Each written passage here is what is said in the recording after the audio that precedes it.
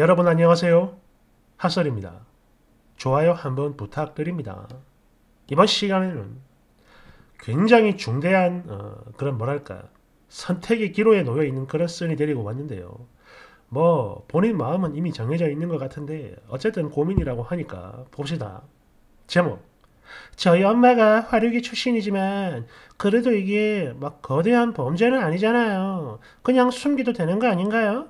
설마 이거 숨겼다고 파혼당하든지 나중에 이혼당하는 거 아니겠죠? 원제 엄마가 화류계 출신이라는 거 결혼할 남자한테 말을 해야 되나요? 물론 이게 도덕적으로는 반드시 말을 해야 되는 거고 그것이 옳다는 것 역시 잘 알고 있습니다. 하지만 이 모든 걸 다 말하기엔 제 스스로가 너무나 부끄럽고 또 제가 사랑하는 이 사람이 크게 실망하는 걸 넘어서 이대로 헤어지자고 하는 건 아닐지 저는 그게 너무 두렵거든요. 그래서 뭘 어떻게 해야 될지 모르겠습니다. 말이야 바른 말이지. 아무리 저를 사랑한다 해도 좋게 받아들일 수 있는 그런 사정은 아니잖아요, 이게. 누구라 해도 다들 쉬쉬하며 말 안 할 사연이잖아요. 그래서 그런지 저희 언니는 이거 절대 추고도 말하지 말랍니다. 그걸로 사이가 안 좋아지거나 헤어질 수도 있고 또 설령 안 헤어진다 해도 싸움 같은 거 할 때 약점이 될 뿐이라며 아무리 좋게 포장해도 결국 나한테 흠밖에 안 되는 거다. 그냥 이대로 모르고 지나가는 게 서로에게 훨씬 좋을 거다 이래요.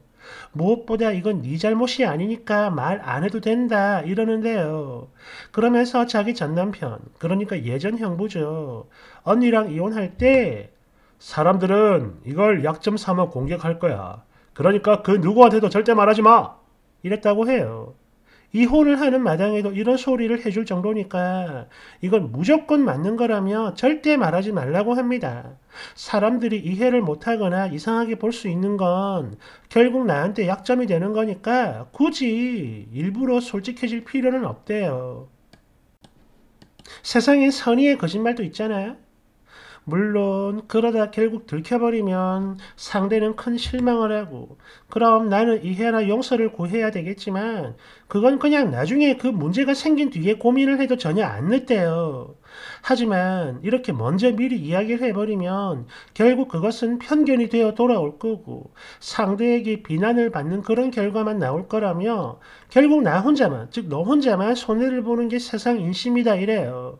사실 저희 엄마가 언니나 저 자식들 대하는데 문제가 되게 많았고 객관적으로 봤을 때 절대 좋은 사람도 아닙니다. 당신의 존재 그 자체가 그 어디에도 본받을 구석이 없어요. 갈등도 엄청나게 많았고 특히 아직 어렸던 10대, 10대 시절에는 저요 늘 우울하고 힘들었던 그런 세월을 보내야 했는데 하, 어쨌든 이걸 어쩌면 좋을까요? 정말 언니 말처럼 숨겨도 되는 걸까요? 솔직히 제 입장에서 언니가 하는 말 솔깃하긴 합니다. 들키지만 않으면 평생 괜찮겠죠. 하지만 바로 이거예요. 만에 하나 들켜버리면 저 정말 끔찍하거든요. 어쩌다 싸울 때 가정 환경 운운하는 건 물론이고 최악의 경우 이걸로 이혼까지 하게 된다면 그러면 이혼에 끝나는 게 아니라 제 가정에 대한 온갖 안 좋은 소문 여기저기 다 퍼질 거고 정말 죽고 싶을 정도로 고통을 당해야 될 수도 있는 건데 그러다 보니 이러지도 못하고 저러지도 못하고 정말 미치겠어요. 아니 이런 거 저런 거 다 피해서 좋게 넘어가 준다 해도 상대방 마음속엔 그런 게 분명 안 좋은 게 남아 있을 거고 그럼 그게 알게 모르게 제 약점이 되어 돌아올 텐데 그리고 이 사람이 만약 그걸로 나한테 공격이라도 한다면 저는 정말 완전히 무너져 버릴지도 몰라요. 그냥 평생 결혼이나 연애는 포기하고 살아야 되는 걸까요? 어쩌면 좋을까요? 뒤에 다른 거또 있습니다. 댓글 1번 아니, 네 엄마 치부를 네가 왜 말해? 그냥 있어. 대댓글. 뭐? 말하지 말라고? 아니 그럼 쓰니 엄마가 예비 사위한테 직접 말하면 되는 건가? 어? 그렇구만. 2번. 뭔 소리야. 이것도 가정 환경인데 당연히 말을 해야죠. 아니 그럼 반대로 시아버지 될 사람이 전과자인데 남자 입장에서 어? 자기 아버지 치보니까 얘기 안 해도 된다 이거예요 지금? 2번. 얘기할 필요 없어요. 범죄자나 살인자도 아닌데요, 뭐. 다만 자주 보진 않았으면 해요. 솔직히 쓰니 남친은 집안 얘기 다 안 했을 것 같, 다 했을 것 같아요. 안 했어요. 겉모습만 봐선 아무도 모르는 겁니다. 저도 쓰니처럼 생각하고 우리 부모님이 이혼을 했던 그 사유, 엄마 재혼 등등 모든 걸 다 이야기했는데 결혼하고 싸울 때마다 그걸 약점 삼아 저를 공격하고 결국 그 부모의 그 딸이네, 어? 일단 미친 개소리를 해댔어요. 저는요, 제가 모아온 돈이랑 예전에 만났던 전 남친들까지 다 이야기했는데, 그랬더니 내 돈은 우리 돈이 되고, 내 전 남친들은 더러운 과거가 되더라고요. 제 주변 기혼 친구들 언니들한테 물어봐도 그래요. 다들 그런 건 절대 말하지 말랍니다. 안 해도 돼 이래요. 저는 그래도 내 남편이니까 우리 서로 속마음 나누자고 했던 건데 지금은 그거요. 제 평생의 후회로 남아있어요. 알고 보니 시댁도 그래요. 되게 화목한 줄 알았는데 세상에 시아버지한테 평생 세컨드인 여자가 하나 있더라고요. 쓰니 언니가 하는 말 새겨 들으세요. 제 꼴 나지 마시고요. 알겠나요? 대댓글 맞아요. 화류계라고 해서 무조건 성매매를 하는 건 아니잖아요. 또 그걸 쓰니가 한 것도 아닌데 뭐. 2번 화류계라고 무조건 성매매 하는 거 아니잖아요. 아니 도대체 이건 뭔 개소리야. 음식과 음료를 안 주는 요식업, 운, 운송을 안 해주는 물류, 환자를 안 받는 의료 이런 건가? 개소리 좀 짝짝해라. 3번 사기 결혼이죠. 나도 여자지만 만약 이거 성별이 달랐다면 여자 불쌍하다고 욕하고 난리 났을걸요? 쓰니 언니를 포함해서 여기 절대 말하지 말라는 여자애들은 이딴 거 숨기는 남자랑 만나서 결혼하길 바랍니다. 뭐 문제 없다고 했으니까 다들 괜찮은 거 맞잖아. 안 그래? 4번 그냥 쓰니가 본받을 사람이 되면 돼요. 이런 부정적인 침묵 이거 말해봤자 누워서 침뱉기야. 감출 건 감추는 게 정직한 거 못지않은 그런 일이라고요? 5번 아니 큰 사건이 일어난 것도 아닌데 그걸 왜 말하죠? 굳이? 문제가 있어가지고 앞으로 설명할 날이 온다면 또 몰라도 이미 다 지나간 이야기를 굳이 먼저 꺼낼 이유는 없다고 봐요. 6번 아니 그걸 뭐하러 말해. 나 좀 무시해줘. 이거 아니야. 남친 속이는 거? 그거 죄책감 안 가져도 돼요. 그냥 부끄러운 거고 창피한 거니까. 그래서 그냥 말을 안 하는 것 뿐이지 속이는 게 아니라고. 알았죠? 7번. 아니 여기 있는 여자들 진짜 미친 거 아닌가? 만약 내 남자 형제가 저런 거한테 속아서 결혼했다면 피꺼솥을 넘어서 차제가 죽여버리고 싶을 것 같은데 어? 다들 엄청 쿨하다. 그래, 니들 오빠나 남동생은 반드시 저런 여자한테 속아가지고 결혼 당하길 바란다. 8번. 와, 여기 댓글들 진짜 토악질 올라오네. 만약 이거 반대였어 봐. 일단 개쌍욕으로 사지 육신을 다 찢어 발기는 건 물론이고, 영혼 저 깊은 밑바닥까지 가루로 만드는 것도 기본이며, 벌써 원본 지킴이 올라오고 난리들 났을 거다. 깔깔깔깔. 9번. 본문 내용을 떠나서 제발 부탁인데 그 화류계 이 미친 단어 좀 안 쓰면 안 되냐? 무슨 화류계야? 그냥 꽁이라고 꽁. 10번. 나도 여자지만 여기 달려있는 댓글들 진짜 이해가 안 되네. 아니 본인 시모가 이런 사람이고 남편이 너를 속였다면 그때도 쿨하게 다 이해하고 좋게 넘어가 줄까요? 정말로? 그럴 자신 있어요? 두 번째 사연입니다. 예비 신부가 집에 한 번을 안 와요 일단 저는 신랑 쪽 가족인데 식은 다음 달이거든요. 그런데 예비 신부가 작년 8월 딱 한 번 인사 왔었고 지금까지 1년 동안 안 오는 건 물론이고 연락도 안 해요. 아니 이게 그냥 사귀는 연인도 아니고 결혼을 준비 중인 거라면 알아서 챙겨야 하는 게 많은 거 아닌가요? 알아서 챙겨야 하는 거.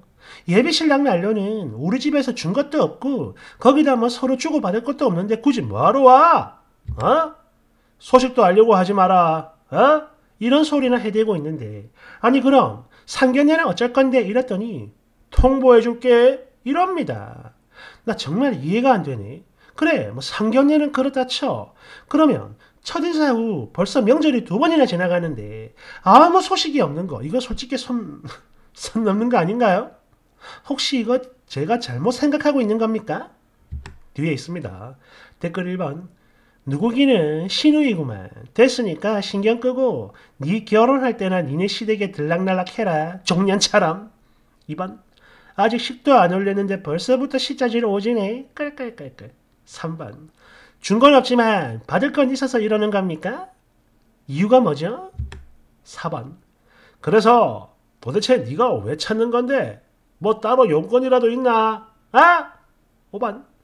아니 인사했으면 끝난 거지. 어쩌라고. 도대체 니들 만나가지고 뭘 어떤 준비를 하라는 건데? 뭐? 6번 아? 다음 달이 결혼식인데 아직 상견례도 안 했고 인사도 안 오는 거면 쌍으로 경우 없는 거 아닌가? 인사 한번 왔었죠. 한번. 추가. 아니 왜 저한테 욕을 해야죠? 제가 언제 뭐 바짝 엎드리라고 했나요 저는 그저 상견례 하기 전에 다른 형제들과 친척들 얼굴도 좀 봐야 되는 거 아니냐. 이런 의미로 말을 한 거라고요. 게다가 저 두 사람은 이미 같이 살고 있는 중이라 상견례라고 말을 하는 것도 좀 이상해요. 또 저만 빼놓고 부모님들이랑 본인들 이렇게 네 명만 만나는 것도 저는 마음에 안 들어요.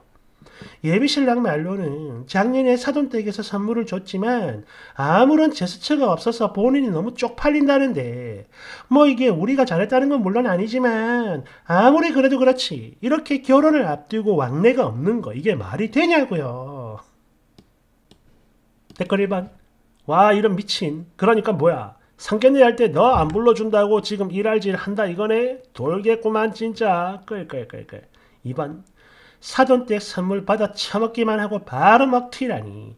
니네 오빠 혹은 남동생이 왜 이렇게 니들한테 학을 떼는지 이제 알겠다. 깔깔깔깔. 3번. 아니 쓰니 저기요. 추각을 쓰면서 혹시 스스로 안 쪽팔렸어요? 4번. 사돈 어른한테 선물 받아 처먹고 답 선물을 못 해줄 망정 고맙다는 인사도 한마디 안 하고 쌩깠다고 이야 네가 정녕 사람이 맞긴 맞습니까요? 예? 5번 남자가 네 동생인지 오빠인지 정확히 알 수는 없지만 야 이 예비 신랑 마인드 진짜 좋다. 멋져. 쭉 이어나가길 바래요. 끌끌끌. 맞아요. 이런 남자니까 시자가 아무리 그지 같아도 버틸 수 있는 거죠. 6번. 이야 선물을 받았는데 인사도 안 하는 집구석이라니. 나도 쪽팔려서 예비신부 절대 안 데려오겠다. 7번. 추가글 했으니 스스로가 답을 써놨네. 사돈 댁한테 선물 받고 입을 싹 닦는 것들이랑 도대체 뭔 꼬라지를 보겠다고 결혼 전에 연락을 하고 찾아오고 하겠냐고. 예비 올케가 인사도 하고 선물도 사오고 그러면서 마치 20세기 종년처럼 설거지하는 게 보고 싶다 이거야 지금? 어질어질합니다. 어질어질해요.